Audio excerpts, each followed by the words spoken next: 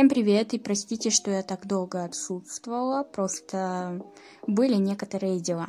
И да, вы на канале Марибат, с вами Диана, и перед тем, как смотреть это видео, подпишись на мой канал и на мой инстаграм. Кстати, да, я решила себя порадовать и купить хотя бы линеры. Решила себе протестировать линеры от Центропен 0.1 и 0.3 размера. Кстати, на фоне этого видео я рисую персонажа Шарлотта из игры «Привет, Шарлотта». Честно говоря, я не знаю его сюжета и никогда не проходила эту игру. Так что понятия не имею, что это, а хотя нет. Привет, Шарлотта, приключенская игра, созданная на движке RPG Maker эстонской художницей и разработчицей Эссейрейн. Эtherain. Игра рассказывает о девушке Шарлотте, ее жизни в доме, ее друзьях и школе. На данный момент существует пять частей игры, и из них три составляют основную сюжетную линию, а две являются спин -оффами. Короче, то, что я вам прочитала, это то, что я знаю об этой игре.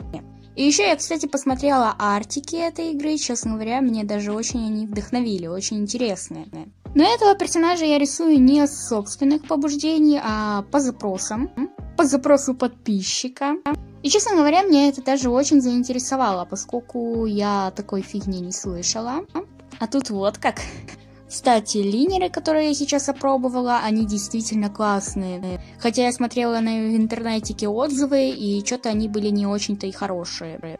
Что их маркер размывает и так далее и что они вообще не пишут, и что это говно. Кстати, за один линер я заплатила 24 гривны, это по сути 50 рублей, но это я не в точности говорю. Кстати, я решила сделать такую штриховку линером, это очень прикольно, особенно если линер очень тонкий, к примеру 0,1.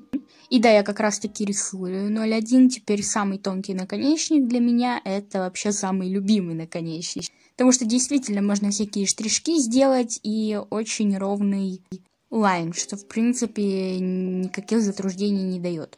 Line я делала, по-моему, 8 минут, то есть много времени я на это не потратила. Принципе, я решила здесь даже забацать фон, поскольку фон здесь, э, как по мне, может быть просто желтый кружочек.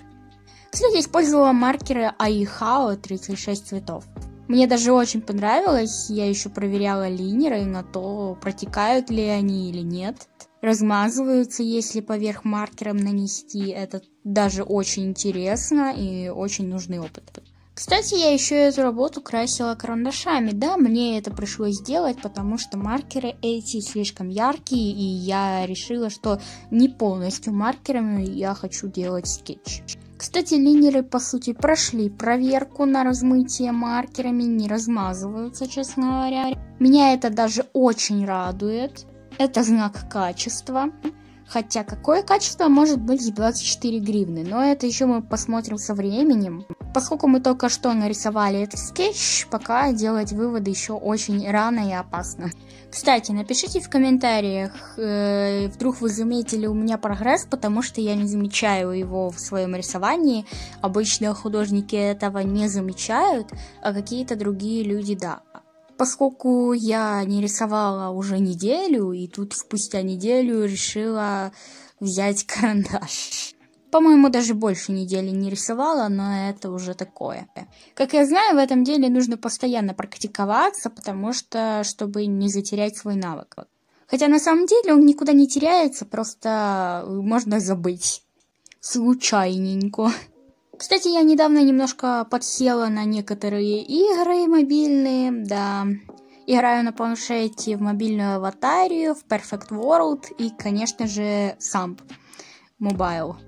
На Самп меня уже подсадил мой родственник, поэтому, может быть, даже будет об этом видео. Хотя не в курсах, но есть некоторые отснятые видео, частички, некоторые приколы, но не знаю, как это выпустить. Если вы хотите, то напишите, потому что действительно я не знаю, как вам это правильно показать.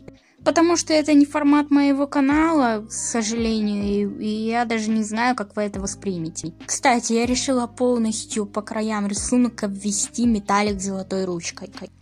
Я не знаю, но, как по мне, это дает какого-то шарма, и работа выглядит более законченной. И это действительно радует глаз, и работа выглядит интересней. Кстати, на моем арт-инстаграме уже исполнилось 3000 подписчиков. Спасибо вам большое, те, кто подписались с ютуба, и те подписчики, которые с инстаграма подписались на ютуб. Большое вам огромное спасибо, потому что 3000 для меня это довольно-таки большая цифра. Особенно для Инстаграма это сложно.